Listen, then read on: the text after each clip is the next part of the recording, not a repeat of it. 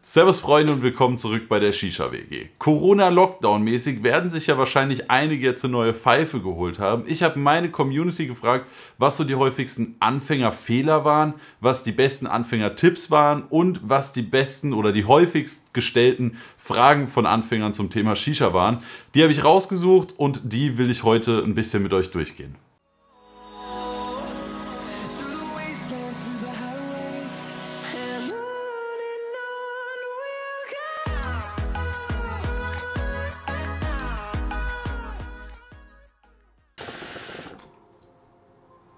So, da sind wir wieder mit dem Video. Wie gesagt, heute soll es um die 10 häufigst gestellten Anfängerfragen geben und die Antworten darauf natürlich.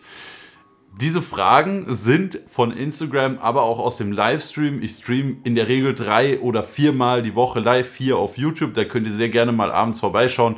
Ist eigentlich immer ein Tag im Voraus der nächste Stream geplant. Schaut da einfach mal auf dem Channel. Meistens ist es aber dienstags, donnerstags und sonntags. Aber das kann abweichen, je nachdem, wie ich gerade Zeit habe. Aber da können wir die Fragen auch einfach live immer klären.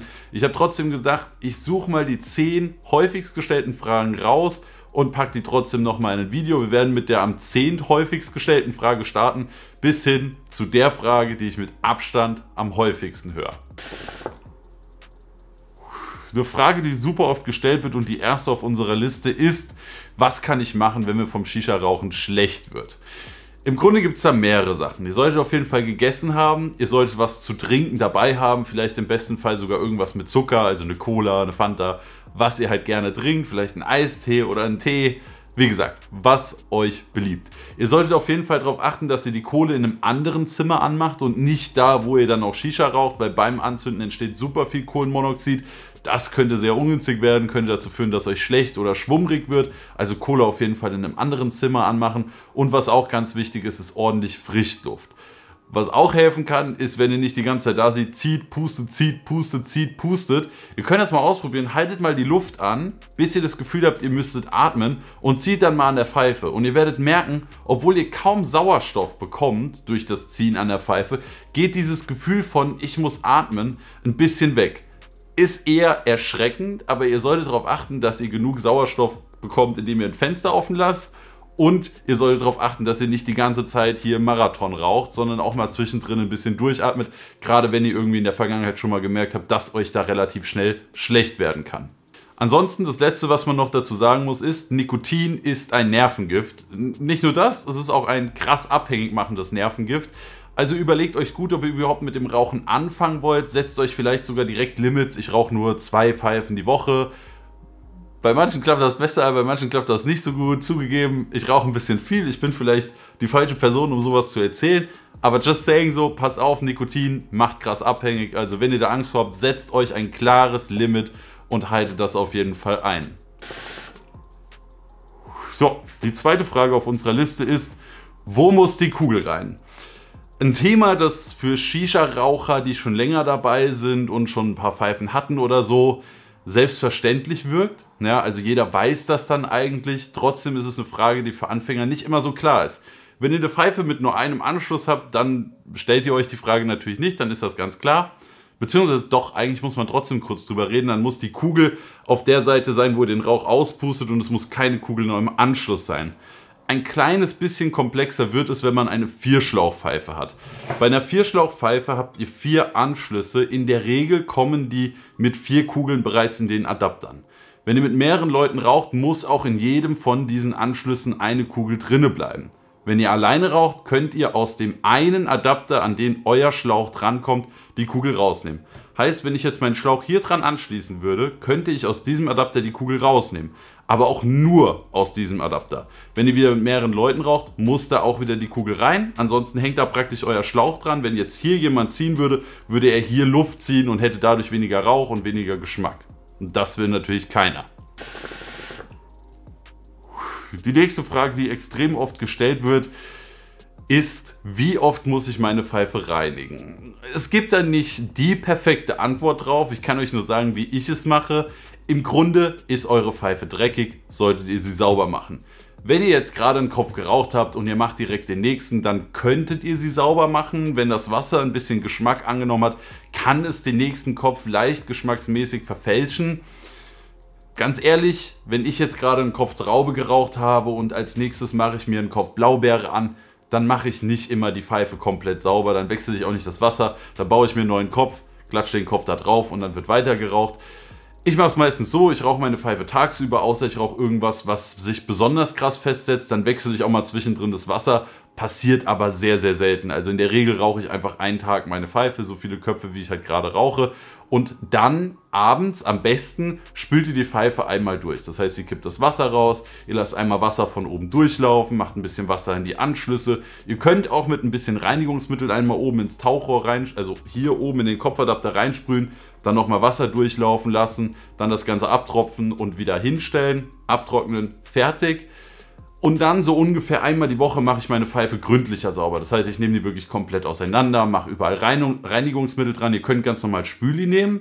Ihr könnt aber auch so ein spezielles Shisha-Reinigungsmittel kaufen. Das macht aber jetzt nicht so einen riesen Unterschied. Ist meistens nur ein bisschen einfacher in der Handhabung. Da gibt es dann so Sprühflaschen oder wie man das von, von so Scheibenreiniger kennt mit den großen Sprühflaschen. Äh, und macht die dann einmal die Woche komplett gründlich sauber. Das ist aber so ein Ding, da könnt ihr selbst rausfinden, wie es euch beliebt. Mein Tipp ist nur, wartet nicht zu lange mit dem Saubermachen. Je länger ihr wartet, umso schwerer wird es, die Pfeife wieder komplett sauber zu kriegen.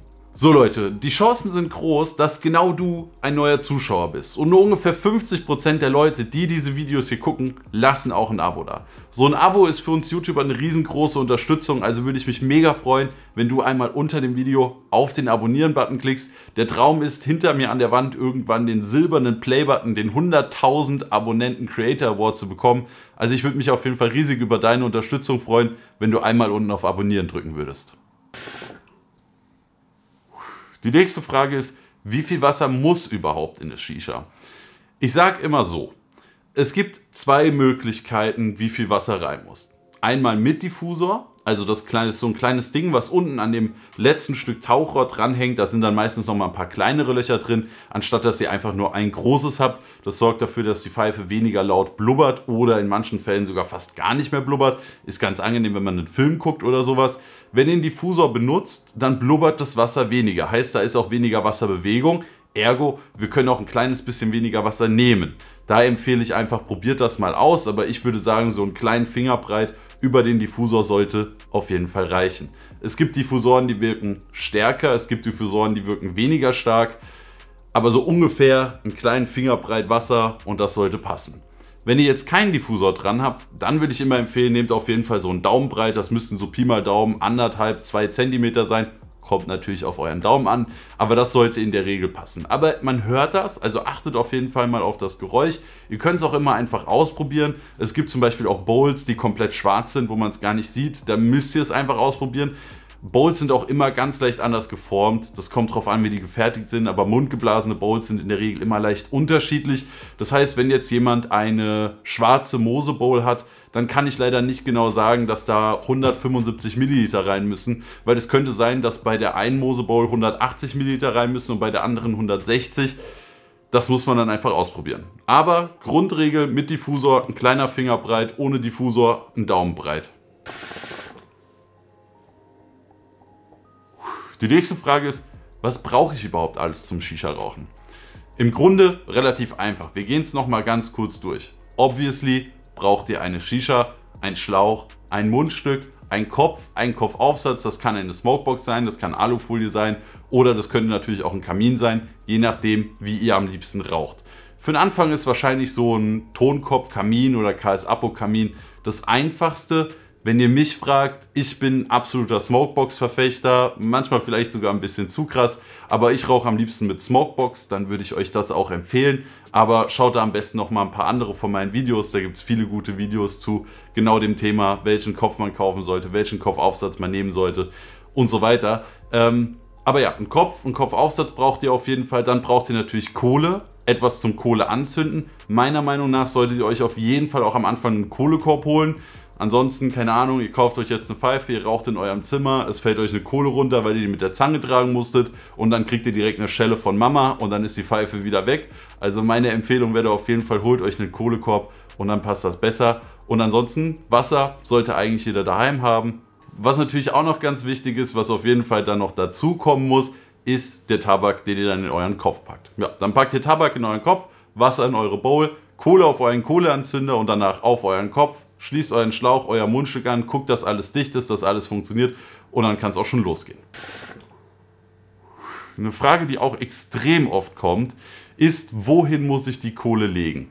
Ich würde sagen, das zeige ich euch gerade einfach mal am Beispiel. Als erstes gucken wir uns da den Kamin an. Ich würde empfehlen, zum Anrauchen die Kohle in die Mitte zu legen. Vielleicht nicht komplett in die Mitte, aber fast komplett in die Mitte. Und wenn ihr dann merkt, das Köpfchen ist langsam an, dann rückt ihr die Kohle ganz an den Rand.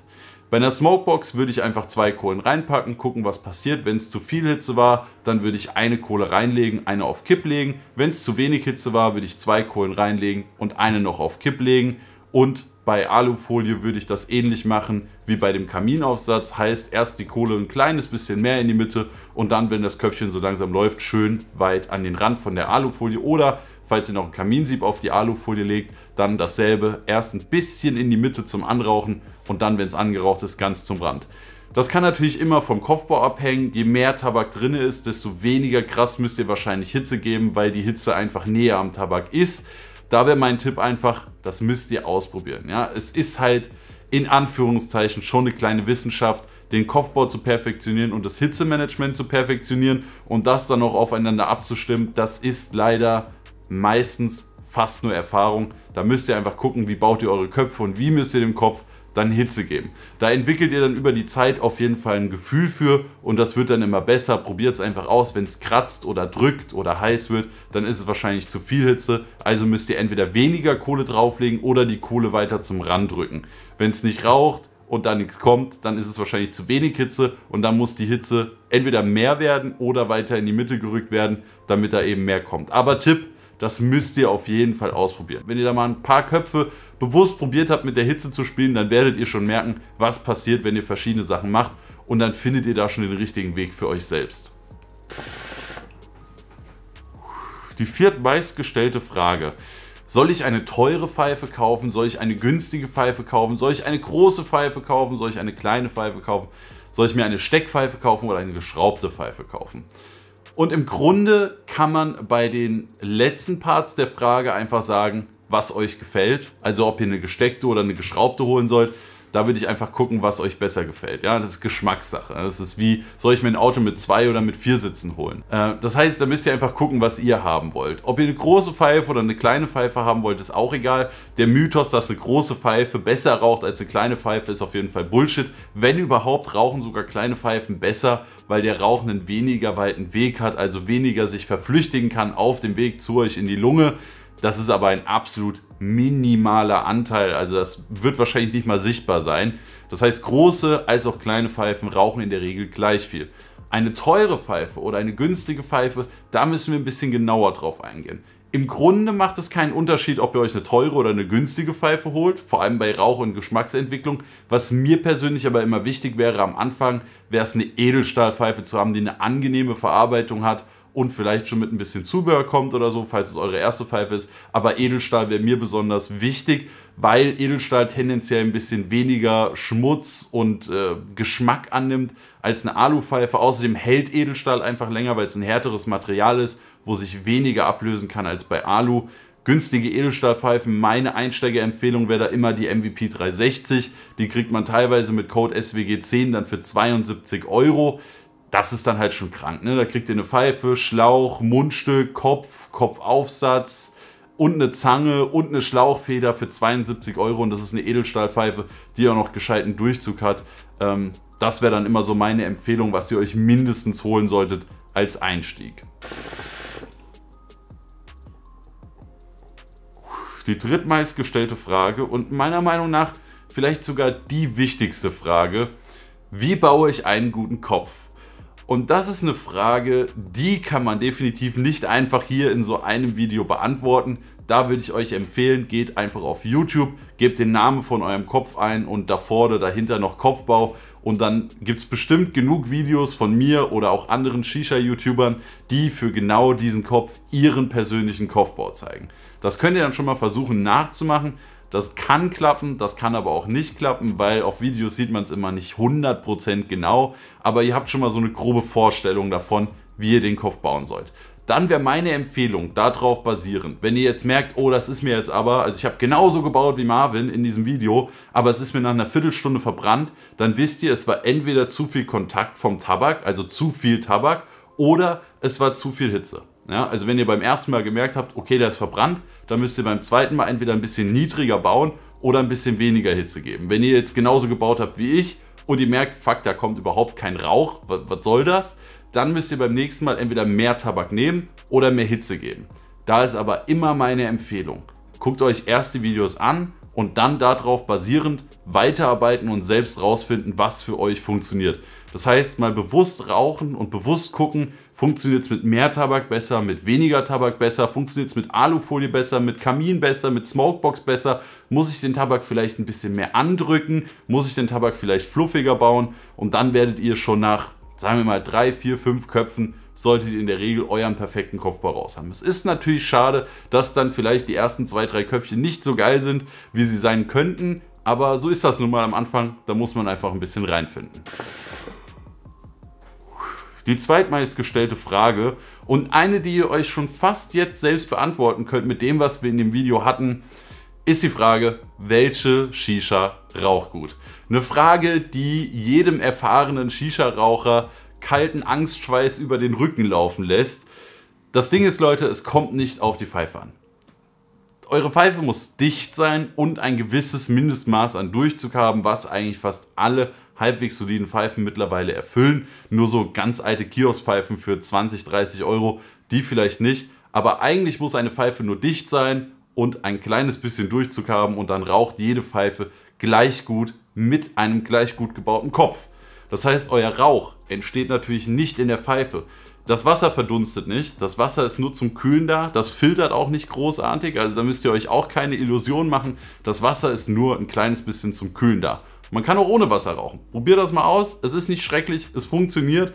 Ähm, aber das Ding ist, das Wasser verdunstet nicht. So, und wenn das Wasser nicht verdunstet, um Rauch zu entwickeln, dann kann ja weder das Metall noch der Weg durch die Pfeife noch der Weg durchs Wasser dafür sorgen, dass auf einmal mehr Rauch kommt.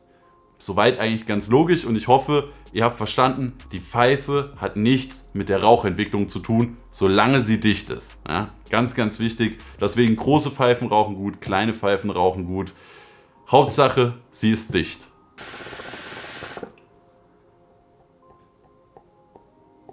Und darauf aufbauend kommen wir jetzt noch zu der Top 1, die meistgestellte Frage überhaupt. Wie bekomme ich viel Rauch? Und ebenfalls bei der Frage mit den Fragen, die wir eben schon so beantwortet haben, könnt ihr euch eigentlich auch diese schon beantworten. Ihr müsst einen guten Kopf bauen mit ordentlich Hitze.